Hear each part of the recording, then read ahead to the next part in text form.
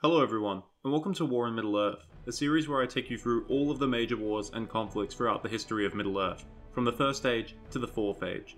In this episode, we look at the Battle of the Morannon, and the battles that followed that would see the end of Sauron's dominion. With one final roll of the dice, the captains of the West would risk everything in hope that Frodo would succeed in getting the One Ring to Mount Doom. In the previous episode, we looked at the war in the north, where Sauron would launch attacks against Rohan, the Woodland Realm, Erebor and Dale, and multiple attacks against Lothlorien. Except for a final attack on Lothlorien on the 22nd of March, this theatre has largely calmed down by the 18th, with all of Sauron's attacks having met failure, except for the attack on Erebor and Dale. But even as fighting in the north quietens down, a new offensive begins in the south on the 18th, and this time it's not Sauron who was attacking.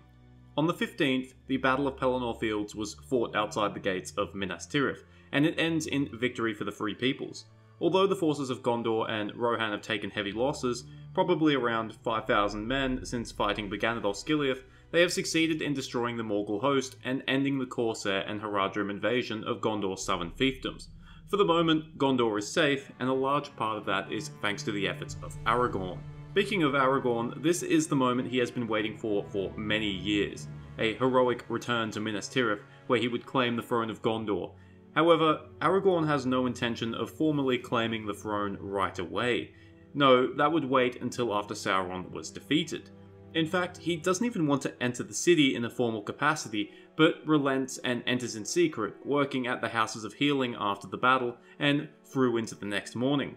By doing this, he saves the lives of Faramir and Eowyn, who have been heavily afflicted by the Black Breath, as well as mending the hurts of Merry and many others. Truly, isn't Aragorn just the perfect man? There's little time for rest, though. The next day, Aragorn calls a council outside the city for the captains of the West, the last debate. Known attendants of this council are Aragorn, Gandalf, Eomer, the new king of Rohan, Prince Imrahil, who is acting as Gondor's ruler whilst Faramir recovers, and the sons of Elrond, Elrohir and Elladan. Gandalf begins the council by explaining a harsh yet necessary truth that had shown itself in Denethor's Palantir. Sauron has become far too powerful to be defeated by strength of arms alone, and that the Free People's hopes must be placed in the Ringbearer. Thus, Gandalf proposes that Aragorn leads an army to Mordor, and although it won't be able to help Frodo directly, it could draw Sauron's attention and give Frodo a better chance. He points out that Sauron has no idea about Frodo or his quest, and that if Aragorn marches on Mordor, which surely no sane man would do, then Sauron will wrongfully assume that Aragorn has the One Ring and will throw everything at him in a bid to take it back. It's a bleak suggestion, and Gandalf points out that even if Frodo is successful, it's possible that they will be overwhelmed in the field and killed, not living to see a brighter dawn. After a lengthy silence, Aragorn decides to heed Gandalf's advice, but tells everyone present that he will command no man, and that anyone who follows him should do so out of their own free will. The sons of Elrond are the first to pledge to follow, stating that their father sent them south for this very purpose, Next is Eomer, who considers Aragorn to be a trusted friend, and says that just as Aragorn aided his people, he shall aid him. Prince Imrahil also pledges his loyalty, stating that he regards Aragorn as his liege lord, and will do as he commands. However, as acting steward of Gondor, he also states his concerns about Minas Tirith and does not want to leave the city undefended. He is also concerned about Mordor's blocking force in Anorien, which was unfought and is still intact. With the course of action having been decided, the captains of the West get to work on the logistics. Gandalf counsels that Gondor does not need to be left undefended, and that the force that marches on Mordor only needs to be big enough to catch Sauron's attention. However large that force is, Gandalf also advises that it should leave no more than two days from now, on the 18th, which will give a little time for men to rest and recover. Eomer informs Gandalf that if they must leave in two days, then he can lead no more than 2,000 and leave as many behind as defense for the city. But Aragorn is more optimistic, pointing out that reinforcements were en route from the south, 4,000 led by Angbor, Lord of Lamedon, and more ships that had followed Aragorn up the Anduin were arriving by the hour. He judges that they could march on Mordor with 7,000 and leave the city better defended than when the assault on Gondor began. The debate then ends, and the captains of the West get to work gathering the forces necessary to march on Mordor. Aragorn personally rallies 2,000 from those men who had accompanied him or followed him through the south. Prince Imrahil gathers 3,000 from amongst the city's garrison, survivors of Mordor's onslaught and the Battle of Pelennor Fields, including Pippin and Beregond. Eomer puts forth 500 of his best riders, as well as another 500 on foot who had been unhorsed yet uninjured during the battle. The last 500 is an elite group, the finest of Gondor's cavalry, including the prestigious Swan Knights of Dol Amroth and what remains of the Grey Company. All in all, the host of the West amounts to 7,000, 6,000 on foot, and 1,000 cavalry, and as Prince Imrahil points out, scarcely the size of Gondor's vanguard in the days of its power. As for the rest of the Rohirrim who survived the battle, about 3,000 in total, they are sent north under Elfhelm to deal with Mordor's forces in Anorien. On the 18th, the army is assembled on the Pelennor. There's hopeful news all round. Aragorn's scouts have returned, informing him that Osgiliath and the lands up to the crossroads are empty of foes. There's also been a victory in the north. Sauron's forces in Anorien, already in retreat after hearing of the defeat at the Pelennor, shatter and flee into Cair Andros when Elfhelm attacks them. From the south, Angbor's forces are nearing the city. With nothing else left to do, Aragorn orders the host of the west forward towards Mordor. By the afternoon, the army reaches Osgiliath. There, workers and craftsmen have already gotten to work to repairing or strengthening the bridges and ferries that cross the Anduin, as well as gathering supplies for the war. Some brave few have even crossed the river and have begun throwing up defences in the eastern half of the city. The host of the west passes through the city, continuing on for another 5 miles and eventually making camp just beyond the city's limits. However, the cavalry rides on, coming to the crossroads at around evening. Here, Aragorn orders his trumpeters to play, and heralds shout that the lords of Gondor have returned to reclaim their old lands, dispelling the eerie quiet. That night, at the crossroads, the captains of the West have another debate what to do about the nearby city of Minas Morgul. Some, including Imrahil, suggest that the city should be taken and destroyed, and that the host of the West should then attack through the Nameless Pass into Mordor, believing it to be an easier route. Gandalf quickly shuts down these suggestions, stating that the evil and horror of Imlad Morgul will drive the men insane. He also points out that Faramir had learned Frodo was attempting to take the pass of Cirith Ungol, and that attacking from that direction would have the consequence of drawing Sauron's attention towards Frodo, rendering the whole expedition pointless. The next day, the 19th of March, the rest of the army reaches the crossroads, and Aragorn orders defences be built upon the crossroads with the dual purpose of watching Minas Morgul as well as watching the southern road towards Harad. Manning these defences would be several hundred archers, mostly men who were familiar with Ithilien. Wishing to take extra steps to defend against any terror that might remain in Minas Morgul, Aragorn rides to the entrance of Imlad Morgul alongside Gandalf and a company of soldiers.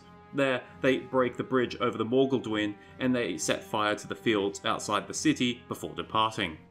On the 20th, the host of the West begins their journey northwards. They continue to loudly announce their presence, riding openly upon the road and blowing blasts from their trumpets every so often, proclaiming that the lords of Gondor are come. This eventually changes to King Elessar has come on the insistence of Prince Imrahil. Despite their appearance of being unfazed, scout companies continue to ride ahead, accompanied by the Rangers of Ithilien, led by Mablung. Thanks to these rangers, it's discovered late on the 21st that a force of orcs and easterlings have prepared an ambush further up the road. Ironically, in the exact same place that Faramir had ambushed the Haradrim almost two weeks earlier. Thus, the ambushers become the ambushed when Aragorn sends his cavalry westward and they sweep in behind the orcs and easterlings, easily defeating them and driving them into the eastern hills of the Ephel Duath. This victory does little to enhearten the host of the West. Every footstep they take brings them closer to their possible doom in the blasted lands of Mordor, and from the night of the 21st onwards, the Nazgul fly overhead, out of sight to everyone except for Legolas, but their presence can be felt. Aragorn himself believes the ambush to have been little more than a feint, a sacrifice by Sauron to embolden the captains of the West into believing that Sauron was now weak. On the 23rd, the same day Frodo and Sam are crossing the Gorgoroth, the host of the West reaches the northern limits of Ithilien. Beyond is the ancient battleground of Dagorlad, blasted and lifeless, so desolate that the army halts in fear, never having seen anything so horrific. Some of the men refuse to go any further, and instead of being angry, Aragorn takes pity on them. Many of them are merely farmers from the Westfold or Lossarnach, usually peaceful lands where Mordor was a mere tale used to scare children. Thus, Aragorn tells them that if they cannot go any further, then they should still retain some of their honour and instead take back Cair Andros. Some are shamed by his mercy, harden their hearts, and decide to continue onwards, but most of them turn back, set on a new goal within their measure. Given that Gondorian boats are later seen moored outside of Cair Andros, it appears that these men do succeed in their mission of taking back the fortress. With the departure of those of fainter heart, and the earlier garrisoning of those men at the crossroads, the host of the West crosses onto the Dagorlad with a little less than 6,000 men. The advance now becomes much slower, and Aragorn no longer sends out scouts, fearing to lose men to whatever lurks in the hills adjacent to the Morannon. Instead of following the bend in the road, Aragorn continues marching northwards, planning on approaching the Black Gate from the northwest to avoid the same mistake Ondoher made during the infamous disaster at the Morannon over a thousand years earlier. On the night of the 24th, the host of the West makes camp for the last time. The air is still, the moon is shrouded by fumes from Mordor, the wolves are howling, and the watchers can see creatures moving in the night. Dawn brings a chill breeze from the north, and in the grey light of the morning, the host of the West arrays itself before the Black Gate. The time has come for the final act of the play all is silent. There are no enemies to be seen, except for the Nazgul flying overhead, yet Aragorn is aware that hidden enemies await in the hills. He rides forth to the Black Gate with his captains, and they demand that Sauron should come forth and face justice. The Black Gate opens, but instead of Sauron, out comes a man and a company of horsemen behind him. This is the mouth of Sauron, the lieutenant of Barad-dûr, a black Númenorian who entered Sauron's service when he returned to Mordor. The discourse begins as expected, with the mouth of Sauron insulting Aragorn and his lineage. He then turns his attention to Gandalf, insulting him as well, and then presents items of great importance. Frodo's mithril coat, his grey cloak from Lorien, and Sam's sword. To those assembled, they believe this is the moment that seals their fate. Frodo has been captured and the One Ring returned to Sauron. Even Gandalf cannot hide his dismay the mouth of Sauron continues on, informing them that the fate of the prisoner depends on whether they accept the following terms. This isn't verbatim, but you'll get the idea. Gondor and its allies will take oaths to never assail Sauron again, and they will withdraw beyond the Anduin. All lands east of the Anduin will be under Sauron's dominion forever. All lands west of the Anduin up until the Misty Mountains and the Gap of Rohan will become tributary to Sauron. They will bear no weapons, but will have leave to govern their own affairs. They shall also help rebuild Isengard, and there Sauron's lieutenant shall dwell as an overseer of the western lands. It's clear from the way that the mouth of Sauron speaks that he intends on being this tyrant. These terms might seem somewhat generous when faced with imminent destruction, but Sauron isn't known as the deceiver for nothing. He cannot be trusted. Gandalf utterly rejects these terms, stuns the mouth of Sauron with a flash of light, and takes back Frodo's belongings. The mouth of Sauron is speechless and then rides away in rage. His company of horsemen follow him. One thing to note is that the Mouth of Sauron only ever mentions a single prisoner and refers to them as a spy. He does not mention anything about the One Ring, nor is there any evidence as of yet that Sauron actually has it in his possession. The captains have little time to ponder this, and the moment the mouth of Sauron gallops away, horns blow from the Morannon, and the hills explode with activity. The Black Gate swings completely open, and outpours the armies of Mordor. Orcs stream down from the hills on either side of the Towers of Teeth, and clouds of dust begin to rise from the east an army of Easterlings hidden in the foothills of the Ered Lithui emerges. The captains of the West retreat to their own lines and prepare for the onslaught. Aragorn has little time to prepare his order of battle. The host of the West has taken up position on two large slag hills, surrounded by a mire of mud and foul smelling pools, acting like a moat. Aragorn's standard, the Tree and Stars, is raised upon one hill, and upon the other, the White Horse of Rohan and the Silver Swan of Dol Amroth. Around both hills is a ring of spearmen and swordsmen, and above them stand the archers. In the direction facing Mordor, Aragorn places his most elite soldiers, the sons of Elrond, the Dunedain, Prince Imrahil's Swan Knights, and the elite men of the Tower of Guard, and Pippin. It truly is a nightmarish sight. Despite being the morning, the rising sun is shrouded by the fumes of Mordor, and it casts the battlefield in an angry red light, as if it were the end of the world. Overhead, the Nazgul gather and begin their descent. Before the battle even begins, morale is wavering. For example, Pippin is glad to find himself in the front rank, simply because it will mean that his death will come sooner rather than later, when all hope has truly gone. He finds himself finally understanding the words of Denethor, even as he was consumed by fire. The first assault begins. The orcs are hindered by arrows and by the mires that lay before the hills, so they hang back and fire their own arrows. But the hill trolls from Gorgoroth, bearing heavy hammers and round bucklers, easily wade through the mud and crash into the front ranks of the Gondorians. Beregond of the Tower Guard is stunned by a blow and falls to the ground.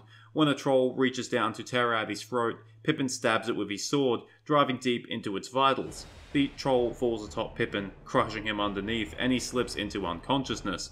He hears men yelling a single phrase The Eagles are coming. Atop a hill, Aragorn and Gandalf watch the battle. Surrounded on all sides, the host of the West is being swiftly hemmed in and forced back, and hope is swiftly fading. But just as Pippin heard, Gandalf sees. Gwaihir the Windlord, Landroval his brother, and many Eagles of the North swiftly descend down towards the battlefield. The Nazgul on their fell beasts turn, and suddenly they flee. At this moment, Frodo Baggins, the ring bearer, claims the One Ring for himself, alerting Sauron to his presence. Sauron realizes the ploy, and the Nazgul speed towards Mount Doom. With his attention focused elsewhere, the hosts of Mordor momentarily waver, unaware of the situation that is unfolding in Sammath Naur. Gollum and Frodo fight over possession of the ring, with Gollum being the victor.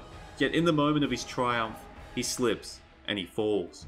The One Ring plunges into the depths of the mountain and is destroyed. The earth shakes, Mount Doom roars and unleashes its fire, lightning fills the heavens, and black rain begins to pour. In the heart of Mordor, Barad-dûr begins to crumble, grinding into dust. The towers of Teeth, Narchost and Carchost sway and then collapse to the ground, ruining the Black Gate in the process. Above it all, a huge dark shape of impenetrable darkness crowned in lightning, rises above the ruins of Mordor and reaches out a dark hand towards the host of the west. But as quickly as it rises, a gust of wind blows it away. Sauron, the greatest of foes since the end of the First Age, has finally been defeated, for good. On the battlefield, the hosts of Mordor scatter. They were held together by the will of Sauron, and his destruction breaks them. Orcs, trolls, and other fell creatures run this way and that, some mindlessly, others back to their holes in the hills, and others fall on their swords or throw themselves into pits. The Nazgul are caught in the fiery ruin of the mountain and fall into oblivion along with their master. Most of the Easterlings and the Haradrim flee eastwards, but a few, those deepest in the service of Sauron, gather themselves for a last stand. After the battle is over, many of those Gondorians and Rohirrim still capable of fighting venture into Mordor itself, and get to work destroying Sauron's fortresses in the north of that land. Not all remain to finish the fight. Gandalf rides here to Mount Doom in the company of Landroval and Meneldor, and together they rescue Frodo and Sam from the fire that is spewing forth from the ruin of the volcano. By the time Frodo and Sam awaken in Ithilien on the 8th of April, the last remnant of Sauron's power has been destroyed. On the 27th of March, merely two days after Sauron's destruction, the Easterlings besieging Erebor receive news of the catastrophic defeat. Dismayed by the defeat of their god king, and now without true purpose or direction, the army begins to waver. King Bard II and King Thorin III Stonehelm notice the crumbling morale of the Easterlings and they sally forth that day, defeating the Easterlings and driving them out of Dale and away from Erebor. The following day, the 28th, Celeborn leads the Lothlorien elves, victorious in three battles against Sauron, across to Anduin in many boats. Having expended its power on what ultimately proved to be pointless attacks, Dol Guldur is not heavily defended, and the Lothlorien elves are able to capture the fortress. There, Galadriel proves the true extent of her power, and she throws down Dol Guldur's walls and lays bare its pits. This is without her Ring of Power, by the way. It's been rendered useless by the One Ring's destruction. With Dol Guldur's complete and utter destruction, the cleansing of Mirkwood could truly begin. Sauron's final defeat cannot be overstated. For thousands of years, he served as the chief enemy of all the Free Peoples, and before that, he served as the lieutenant of an even greater evil. The Dark Lord of Mordor was responsible for immeasurable cruelty and destruction, and the blood of millions was on his hands, not just in the west, but in the east, south, and the north. The damage he did to the world would never truly be undone, and that which could be fixed would take centuries or even millennia. But for most of the free peoples of Middle-earth, the war is over, and the new ordering of the lands in the coming Dominion of Men would be the next thing on their minds. But the War of the Ring has not yet ended, and for some, it is now only truly beginning. A fallen enemy thought to be defeated makes one final desperate, pathetic ploy for power, and he does it in the one place that has mostly been untouched by war. Before we reach the epic conclusion of this series, there is one more battle to cover the Battle of Bywater. Thank you for watching. I hope you enjoyed it or at least found it interesting. Sorry if the ending was a bit abrupt.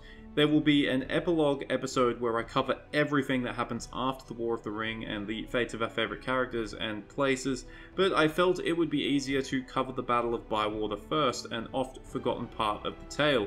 Cheers, thanks, farewell, and remember, if your Dark Lord is dead, it's not the end of the world. Use it as an opportunity to reinvent yourself.